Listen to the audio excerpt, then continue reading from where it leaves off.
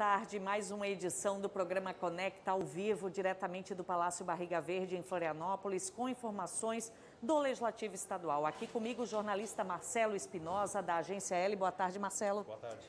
Tivemos uma manhã movimentada com reunião da Comissão de Constituição e Justiça, Comissão de Educação da Assembleia Legislativa, Comissão de Finanças e Tributação. Mas logo cedo, às oito e meia da manhã, a Comissão de Saúde realizou uma audiência pública para discutir a questão da dengue em Santa Catarina. Essa audiência pública foi presidida pelo deputado estadual Dr. Vicente Caro Preso, do PSDB, que é vice-presidente da Comissão de Saúde aqui da Casa. E ao vivo, o deputado Dr. Vicente veio falar um pouquinho mais para a gente sobre a situação da dengue em Santa Catarina, que na audiência pública discutiu isso com representantes dos municípios de Santa Catarina, né, deputado? Boa tarde. Boa tarde, os amigos. É, hoje nós tivemos uma importante reunião, até a pedido da FECAM, que tratou sobre a situação da dengue em nosso estado. As notícias são preocupantes, mas há uma intensa movimentação das prefeituras, do governo do estado também, do COSEMS, que é o Conselho dos Secretários Municipais de Saúde, no intuito de tentar proteger ao máximo e alertar as pessoas para fazer o dever de casa, ou seja, cuidar do terreno, cuidar do seu chão, cuidar é, para evitar que o mosquito ele se, ele se procrie e consiga transmitir mais rapidamente é, o problema da dengue. Na realidade, com a Covid, o ano passado e esse ano houve um relaxamento na preocupação. E nós não podemos dizer que o pessoal não estava certo, porque a Covid é uma doença altamente letal né, e que tinha que ter toda a atenção durante esse ano todo e o ano passado. Então, mas de qualquer forma, a gente pode dizer que isso tenha sido também um efeito colateral da Covid sobre Sim. uma outra preocupação, né, uma outra doença que em algumas cidades está já sendo considerada em surto epidêmico. No caso, Joinville, que é onde aconteceram cinco óbitos esse ano, uma situação preocupante, com muitos focos de presença do, do inseto. E isso tudo nos preocupa, porque está chegando aí o verão, o pessoal vindo, e mesmo o pessoal daqui tem que ser alertado. Uso de repelente e saber aonde que está mais seguro para as pessoas irem. Cada um com a sua preocupação e fazer com que as equipes de saúde comandadas pela Secretaria de Estado, elas possam se entender bem, no sentido de, primeiro, receber é, ensinamentos, ou seja, uma reciclagem, uma informação continuada, né, porque existe uma troca muito grande é, dos agentes de saúde na ponta que fazem esse, esse cuidado, anotação, dos dados de índice de, é, de dengue, enfim, nós temos que fazer uma preocupação total e aproximar cada vez mais as pessoas, a comunidade, as entidades junto das secretarias municipais. Senão, a coisa não funciona. Se não tiver consciência, se não aproximar a área da educação, as secretarias municipais, a Secretaria do Estado, é, preparando as crianças, preparando todo o ambiente de proteção, a coisa não vai funcionar. É? E, finalmente, uma coisa importante: isso tudo tem que ser coordenado por quem pensa, quem estuda. Então, o papel das universidades aqui em Santa Catarina é fundamental. É fundamental para coordenar as ações, para sugerir ações. Uso de drone, uso de aplicativos. Enfim, nós temos que modificar o status quo, porque se a gente continuar fazendo sempre do mesmo, a coisa vai piorar. Claro, o senhor disse, né, as nossas atenções ficaram muito voltadas para a Covid nesses últimos tempos. Mas a dengue é uma doença também que, se não for tratada, não for cuidada, ela pode ser bem danosa ao organismo. Sim, tem formas da dengue, e mesmo na forma dita mais simples, ela preocupa. Ela preocupa e, acima de tudo, as equipes de saúde lá da ponta, e às vezes de pronto-socorro, de UPA, enfim, tem que estar preparada para essa possibilidade diagnóstica. Né? Isso encarece, nesse momento, que ainda nós temos casos de Covid, principalmente no pessoal que se nega a vacinar, ou que não foi vacinar, que esqueceu, enfim, que não tem a dose da vacina, esses grupos, principalmente os mais jovens, acabam transmitindo, então sempre há aquele perigo no ar. O que, que é essa febre de 40 graus, essa dor de cabeça, esse mal-estar, essa dor no corpo, que são sintomas muitas vezes comuns a um e a outro. Então, a prefeitura gasta mais testes, né, tem que ter disponibilidade de testes rápidos também para dengue, para afastar logo a possibilidade. Dengue, teoricamente, é uma doença que tem que ser apenas um controle dos sinais vitais da pessoa, hidratação, é, antitérmicos, analgésicos e tal. Já a Covid não. A Covid tem toda uma série de preocupações epidemiológicas para evitar o contágio de uma pessoa para outra. Doutor Vicente Caro Preso, presidente da vice-presidente da Comissão de Saúde, que hoje presidiu a audiência pública, muito obrigada pelos seus esclarecimentos e a gente sabe que o senhor já vai para a sessão ordinária que começa agora às duas horas. Obrigada, deputado. Valeu, gente. Contem comigo, gabinete está à disposição e a Assembleia também. Abraço. Nós conversamos com o deputado estadual Dr. Vicente Caro Preso do PSDB, que hoje tratou da questão da dengue com a Federação Catarinense dos Municípios, alertando aí para o perigo da doença e para o aumento, né, para a proliferação do mosquito da dengue agora na alta temporada, né, na temporada de verão. A Diretoria de Vigilância Epidemiológica da Secretaria de Estado da Saúde tem dados e vocês podem acompanhar, enfim, também nas nossas redes sociais, no site da Assembleia Legislativa. Mas além da audiência pública que aconteceu hoje pela manhã, a gente teve também reuniões das comissões. Uma reunião foi a Comissão de Constituição e Justiça, que os deputados, membros desse colegiado, apreciaram um projeto importante, que é o da criação da Bolsa, né, Marcelo? A Bolsa Estudante, Isso. Suelen, que o Executivo mandou para cá, era um projeto que era pedido, aí, a deputada Luciana Carminati apresentou um projeto semelhante, e o Executivo mandou um projeto que concede uma bolsa anual de R$ 6.250 para estudantes do ensino médio, estudantes de escolas públicas. Para isso, é necessário ter uma frequência mínima de 75% e os deputados querem também incluir na forma de emenda uma exigência de desempenho do aluno, para que, ele, para que ele tenha boas notas e, caso ele seja reprovado, ele perca, inclusive, essa bolsa. É, é um projeto do Executivo, como eu disse, um investimento estimado em 375 milhões de reais por ano, que o Executivo pretende realizar 60 mil bolsas. É o projeto que agora é, segue para a Comissão de Finanças e para a Comissão de Educação antes de vir aqui para o plenário e a expectativa é que ele seja votado ainda esse ano. Como o Marcelo falou, são cerca de 6 mil reais por ano, que seria de fevereiro a dezembro, 11 parcelas de cerca de 560 reais mais ou menos para cada estudante, claro, de família que apresente ali os dados de uma renda um pouco mais baixa, né? São para ajudar aqueles estudantes que a família não tem uma renda tão favorável, né, é, Marcelo? É, tem exigência de CAD único, cadastro no uhum. CAD único do governo federal e também podem receber tanto estudantes maiores de idade quanto estudantes menores de idade. Lembrando uhum. que os maiores de idade poderão receber diretamente, e no caso de estudantes de menor de 18 anos, esse dinheiro vai para os pais ou para os responsáveis. E Marcelo, além da Comissão de Constituição e Justiça, que deliberou esse e outros projetos, a gente também teve a Comissão de Finanças, que também esse colegiado, os membros que formam ali a comissão, deliberaram projetos importantes, entre eles o que prevê aí o orçamento do Estado, né, Marcelo? É um projeto que a Assembleia tem que provar obrigatoriamente antes do encerramento do, antes do início do recesso parlamentar. Então, a expectativa é que esse projeto seja votado quanto antes, já está pronto. São, na realidade, dois projetos. Um trata especificamente do orçamento, esse recebeu quase 1.100 emendas, eh, que são relativos às emendas impositivas dos deputados, emendas de bancada e emendas do relator. Proposta que estabelece o que o Estado vai ter de dinheiro para gastar no ano que vem, em torno de 37, mil, 37 bilhões e 100 milhões de reais é a previsão para 2022.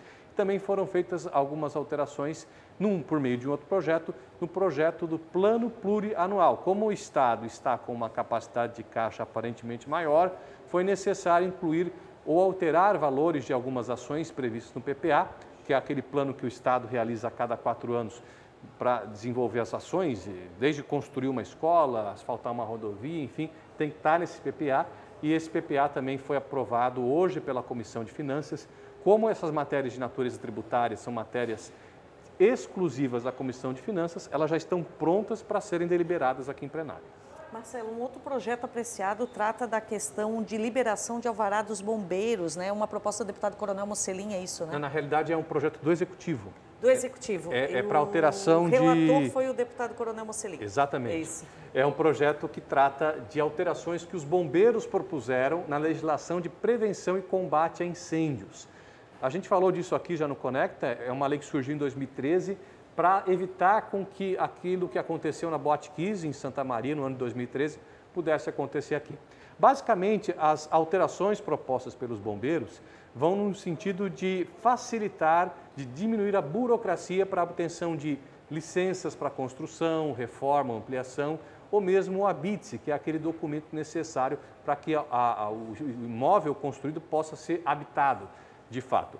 É, o objetivo dessas alterações é diminuir o prazo para obtenção dessas licenças, dessas autorizações, por meio de autodeclaração, ou seja, o responsável técnico pela obra é, se coloca como responsável por fazer aquelas é, as exigências necessárias para a obtenção da licença, no caso de construção, reforma ou ampliação, e do habite no caso do imóvel já concluído. Também tem outras mudanças, Suelen. Uhum. Uma delas diz respeito à realização de espetáculos pirotécnicos em ambientes fechados. Uso de fogos, né? Isso estava proibido, porém isso poderá ser permitido, é bom usar essa palavra, uhum. poderá, não é que vai ser permitido, desde que haja é, atendimento a alguma regulamentação específica sobre o assunto. Uhum. Que... O ambiente, de repente, estar preparado para receber, né, é, é, questões de evitar materiais inflamáveis. inflamáveis. O que aconteceu lá na Boate Kiss foi isso, né? Juntou ah, aqueles fogos, de, na realidade era mais um efeito visual é propriamente, isso. com um material altamente inflamável e terminou naquela tragédia. E a Comissão de Finanças deliberou ainda um projeto de autoria da deputada Ada Deluca, do MDB, que prevê uma espécie de auxílio financeiro para as mulheres que estão dentro daquelas medidas protetivas, no caso de Lei Maria da Penha, né, Marcelo? É isso, né? É um auxílio emergencial que a deputada Ada quer criar. É, 600 reais por mês, por um período específico, é, por seis meses, melhor dizendo, para mulheres que sejam vítimas de violência, né, que sejam, cuja violência, o caso de agressão, seja enquadrado na Lei Maria da Penha. É, a deputada Ada de Luca toca num ponto que é muito comum entre quem é, é, atua nessa área, que muitas vezes a mulher ela deixa de, ela, ela continua presa ao marido porque ela depende financeiramente dele, presa ao agressor no caso. E esse auxílio poderia dar uma independência, ou ao menos auxiliar na questão financeira dessa mulher para que ela pudesse se, se separar, digamos assim, do agressor. E a gente sai aqui do plenário da Assembleia Legislativa e vai para o ambiente virtual saber como que estão as novidades nas redes da Assembleia Legislativa com o Lucas Diniz. Boa tarde, Lucas. Opa, tudo bem? Tudo Oi, bem. Mar... Oi, Marcelo. Olá, Suelen. Então, é, no nosso quadro deputado na rede de hoje, a gente fica com o deputado Júlio Garcia, que fez uma postagem aí na comenda do Legislativo, né, que é a maior honraria aí do Legislativo, ele homenageou, homenageou a comunidade Betânia, que faz um tratamento, aí, um, um acolhimento de dependentes químicos. Então, já há décadas faz esse trabalho, é uma, uma aí, de muita importância, e ele, então, o deputado Júlio Garcia homenageou a comunidade Betânia. Se você quiser saber um pouco mais sobre a comenda do Legislativo e conhecer o trabalho do deputado Júlio Garcia, é só seguir ele nas redes sociais, arroba Júlio Garcia SC. Já o nosso destaque vai ficar aí para o último episódio desse ano, o 16 episódio do programa E aí Sabia Dessa, e que mostra aí é, projetos de lei, né, leis, no caso, que partiram da Assembleia Legislativa. No, nesse último episódio, a gente confere a lei do asfalto, aí, a lei que utiliza pneus usados para fabricação de um asfalto ecológico, né? Se você quiser conhecer a lei e também convido você a conferir esse último episódio do ano do IAI Sabia Dessa, um programa que tem uma linguagem bem irreverente, é só nos seguir nas redes sociais, arroba. De volta com você. Obrigada, Lucas, pelas informações. Você pode curtir, compartilhar, discutir as propostas que são debatidas aqui no Legislativo nas redes sociais, Instagram, Facebook e Twitter. E também tem o WhatsApp da Assembleia Legislativa para você interagir. E a gente agora vai falar de uma outra reunião, de uma outra comissão que aconteceu na manhã desta terça-feira com o Marcelo, que foi a Comissão de Educação, que também debateu um projeto importante, né, Marcelo, que já foi discutido aqui na casa, que é essa questão dos danos às escolas públicas, né? É um projeto interessante do deputado Ivan Nats, apresentado por ele ainda em 2019. Esse projeto pretende fazer com que, no caso de, do aluno cometer algum ato, é, destruir uma carteira ou danificar algum equipamento, algum imóvel, algum móvel do ambiente escolar, que ele seja responsável por isso, que ele arque com os custos do prejuízo. Ou seja, se ele for menor de idade, o pai e o responsável vão ter que arcar. Se ele for maior de idade, caberá a ele ter que pagar pelo prejuízo. O objetivo do deputado Ivan Nats é coibir os casos de é, vandalismo escolar. Né? Muitas vezes o aluno quebra uma carteira por um ato de indisciplina ou mesmo uma mesa, qualquer, enfim, qualquer objeto, qualquer móvel dentro de um ambiente escolar. E o deputado quer coibir esse tipo de ação, punindo, inclusive cobrando os custos do aluno que for responsável. A Comissão de Educação deliberou diversos projetos, nós estamos destacando alguns deles aqui. Teve um do deputado Ismael dos Santos, que cria o programa Time da Defesa, que é uma ação interdisciplinar que o objetivo é prevenir qualquer tipo de ação violenta, né? uso de drogas, enfim, abuso sexual dentro do ambiente educacional, né, Marcelo? Violência escolar. É, o objetivo é você juntar toda a comunidade escolar, pais, alunos, professores, funcionários, os moradores também daquela região, para que de forma unida, coordenada, todos possam é, identificar esses casos e não só punir quando for o caso, mas principalmente atuar na prevenção, para que eles não ocorram. A gente sabe que o ambiente escolar muitas vezes tem muita situação complicada que foge inclusive dos muros da escola.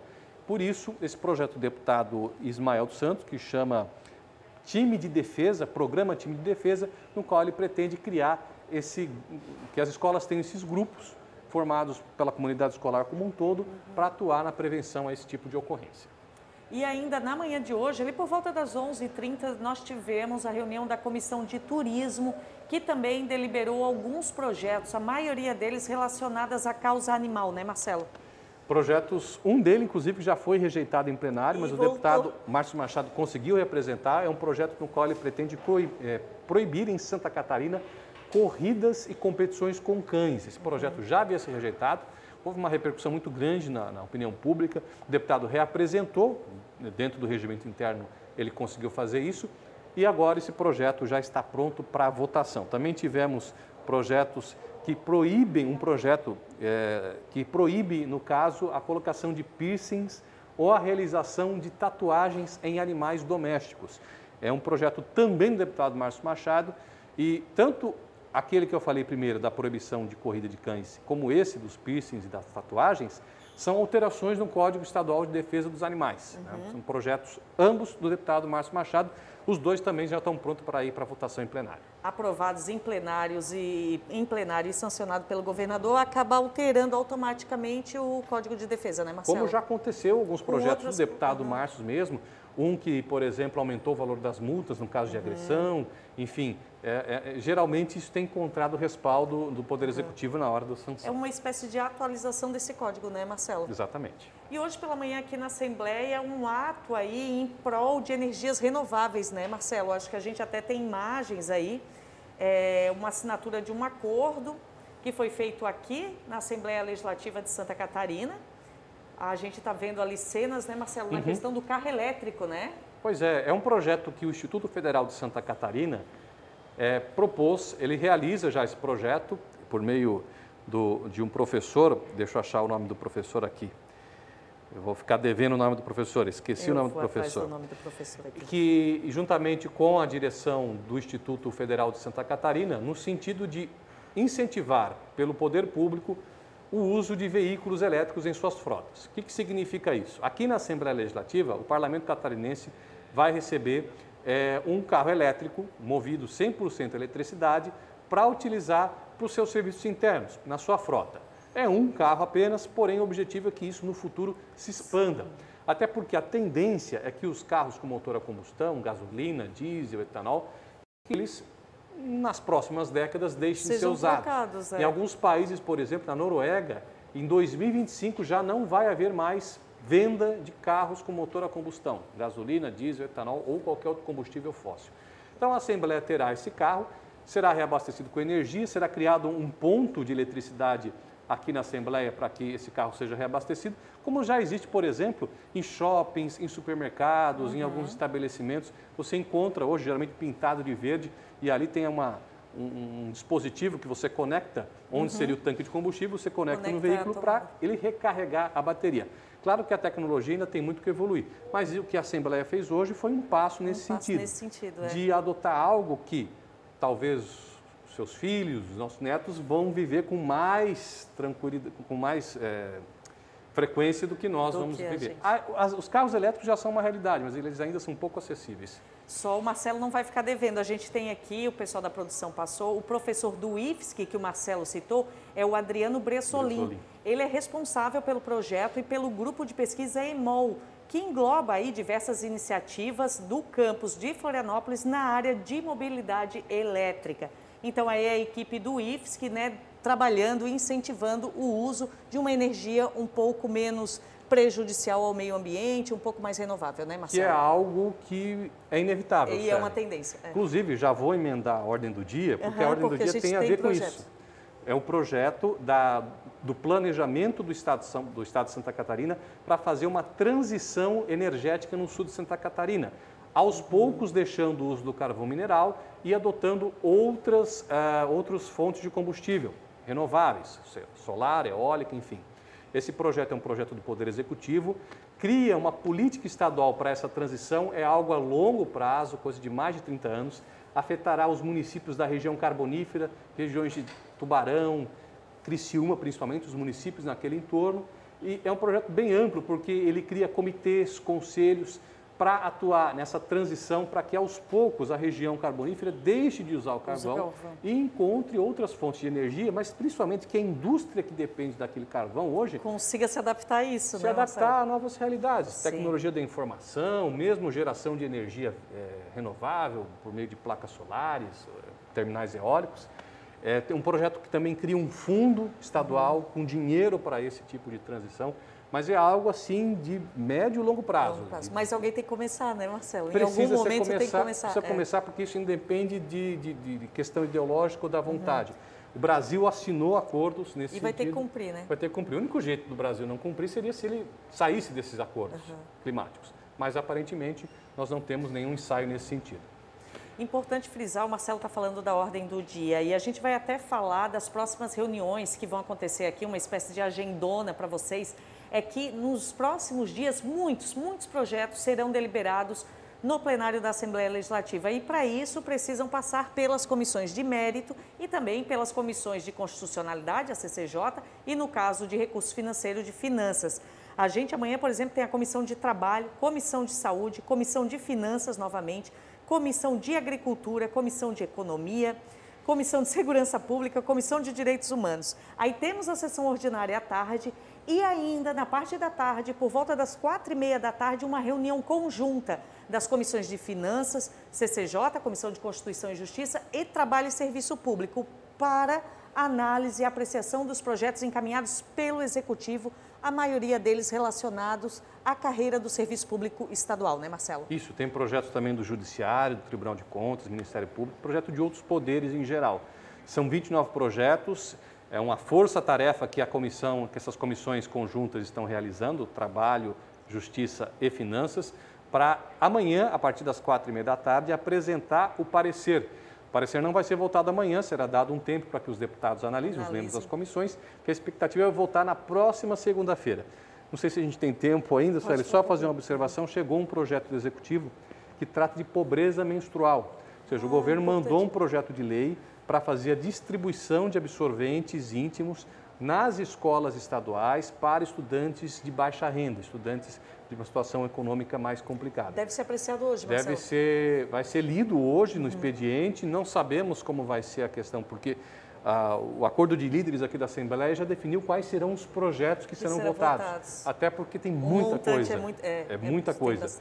Não sei se esse projeto entrará. De qualquer forma, o Executivo já havia assinado nesse ponto. Aqui na Assembleia nós discutimos, a deputada Ada de Luca tinha um projeto, tem inclusive um tem um projeto linha.